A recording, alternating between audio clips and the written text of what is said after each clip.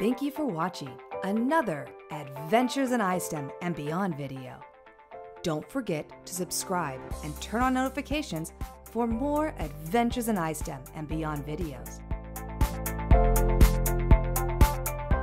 For more ideas on how to incorporate science, technology, and skills for life into your classroom, go to adventuresinistem.com.